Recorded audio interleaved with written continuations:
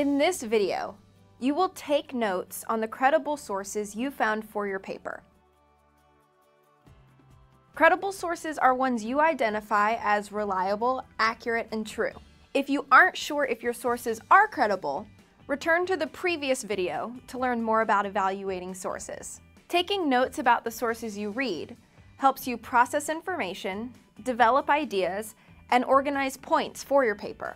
Because Google Documents are stored in the cloud, you can update them anytime from any computer or mobile device. To get started, open your brainstorming document. From a new tab or window, open Google Drive.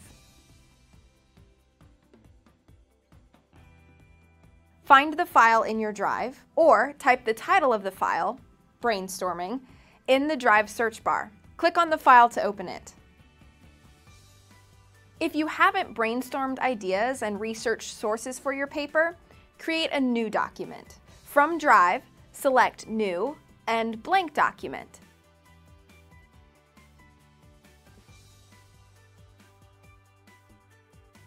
Name the document Brainstorming.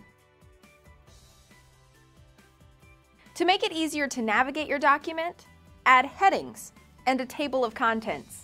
At the top of your document, highlight the word brainstorming. Then, select heading 1 or another heading style from the toolbar. Each heading or subheading will appear in your table of contents. Choose headings that work best for you. Change the heading style of any other sections in your document too. Create a new heading beneath these sections. Type Research Notes and change the heading style to match the brainstorming and sources headings. Then, insert a table of contents to make your document easy to navigate. Click beneath your paper topic. Then select Insert and Table of Contents.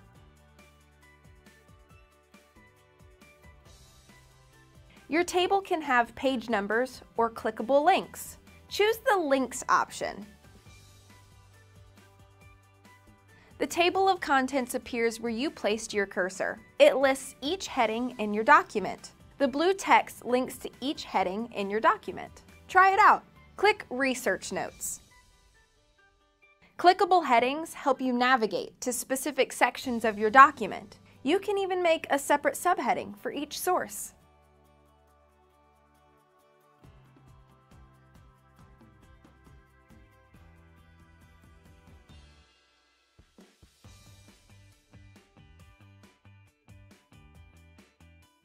As you add new headings to your document, refresh your table of contents.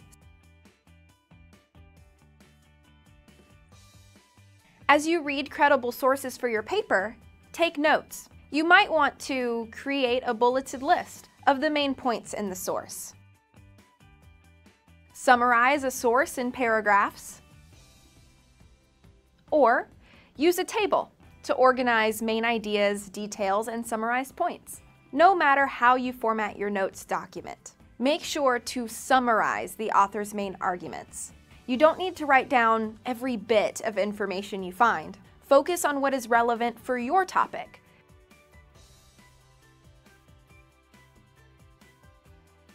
You may want to use direct quotations from your sources to support the points in your paper. To easily save quotations from a website to use later, copy the text from the website and paste it into your document. Highlight the text on the website. Right-click and select Copy. Click back to your document. Place your cursor in the document and select Paste without formatting. This pastes the text in the same font style and size as your document. Place quotations around the text you copied and pasted, so you remember this is a direct quotation. You will need to give credit to the author in your paper so that readers know where you got your information and to avoid plagiarism. Plagiarism is using the thoughts or words of someone else as your own.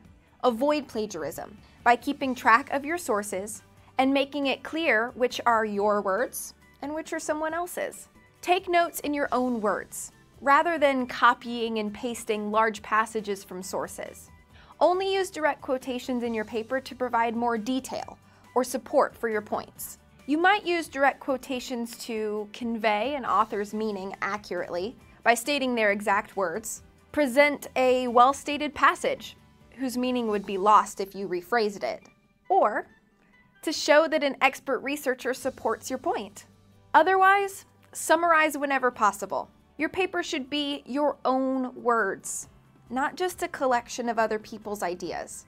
The more you summarize what you read and develop your own ideas as you take notes, the more material you will have to write a full draft of your paper later. When you've finished collecting notes from credible sources, move on to the next video to organize this information into an outline for your paper. Now it's your turn. Add headings and a table of contents to your brainstorming document to make it easy to navigate. Take notes on your sources using your own words. Identify direct quotations that will support the main ideas in your paper and copy them into your notes. Update your table of contents as you add more headings and information.